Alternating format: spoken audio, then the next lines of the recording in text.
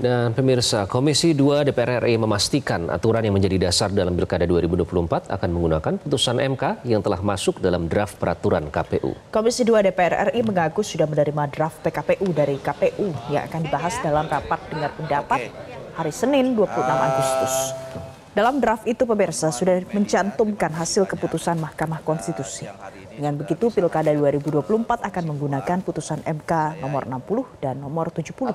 Ketua Komisi 2 DPR RI Ahmad Doni Ahmad Doli Kurnia juga meminta masyarakat tidak berspekulasi tentang adanya upaya pembatalan putusan Mahkamah Konstitusi nomor 60 dan nomor 70.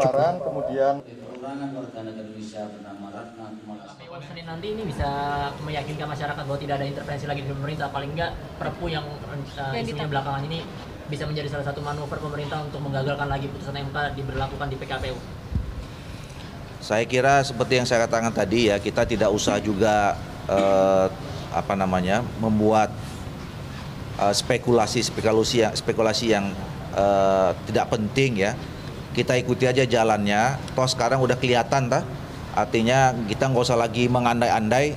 Hari ini saya tegaskan, sekali lagi saya tegaskan bahwa Pilkada 2024 yang besok pendaftarannya 27 sampai 29 uh, eh, Agustus ini itu menggunakan peraturan perundangan yang terakhir. Kalau rujukan undang-undangnya adalah putusan Mahkamah Konstitusi dan itu yang menjadi rujukan dari KPU dan Bawaslu membuat turunan uh, peraturannya di PKPU dan Perbawaslu.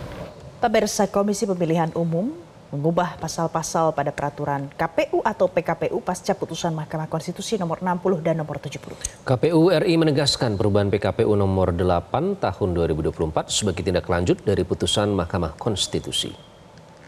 Terhadap perubahan PKPU nomor 8 2024 secara substansi dalam menindaklanjuti putusan Mahkamah Konstitusi nomor 60 garing PUU 22 Romawi garing 2024 KPU akan mengubah ketentuan pasal 11 dan pasal-pasal terkait yang pada pokoknya dalam pendaftaran pasangan calon partai politik atau gabungan partai politik dalam mendaftarkan pasangan calon berdasarkan ambang batas perolehan suara sah yang ditentukan berdasarkan jumlah penduduk tertentu yang termuat dalam daftar pemilih tetap pada pemilu 2024 di provinsi untuk calon gubernur dan wakil gubernur dan di kabupaten kota untuk calon bupati dan wakil bupati serta wali kota dan wakil wali kota.